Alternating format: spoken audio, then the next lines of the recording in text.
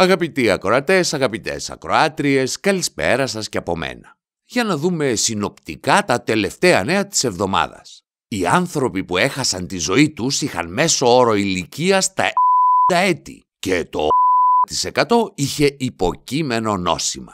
Ανά εκατομμύριο κατοίκων ο επίσημος αριθμός θανάτων ήταν στην Ισπανία, στην Ιταλία, στην Αμερική. Σύμφωνα με τα πρόσφατα στοιχεία, οι Αφροαμερικανοί έχουν νοσήσει στο Σικάγο έναντι των Λευκών, των Ισπανόφωνων και πολιτών ασιατικής καταγωγής.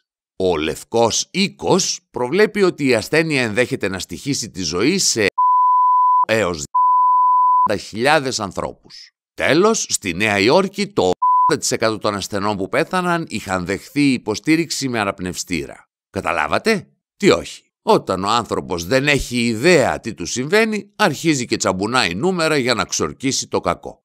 Παλιά είχαν τα τοτέμ, την πυθία, τους προφήτες, τους θεούς για αυτές τις δουλειές. Τώρα έχουμε τα νούμερα. Μην ασχολείστε τζάμπα. Όλοι αυτοί οι αριθμοί δεν προσφέρουν τίποτα στον κοσμάκι.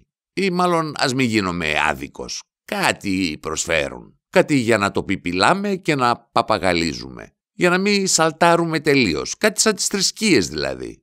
Μία όμως είναι η ουσία. Δεν υπάρχει αθανασία. Καλό Πάσχα αδέλφια. Χριστός Ανέστη.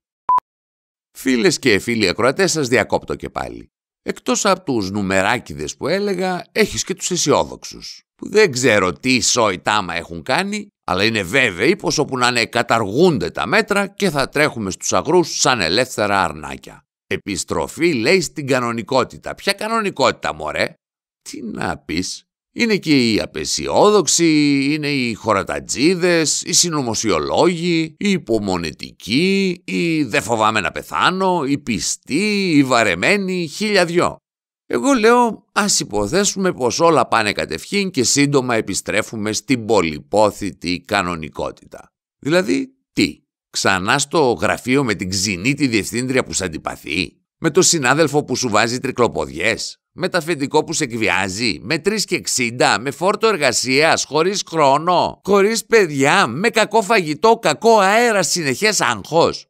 Δεν ξέρω, δεν είμαι και τόσο σίγουρος ότι ποθώ την κανονικότητα. Ειδικά άμα σκεφτώ πως η νέα κανονικότητα θα είναι χειρότερη από την προηγούμενη, αρχίζω να αμφιβάλλω.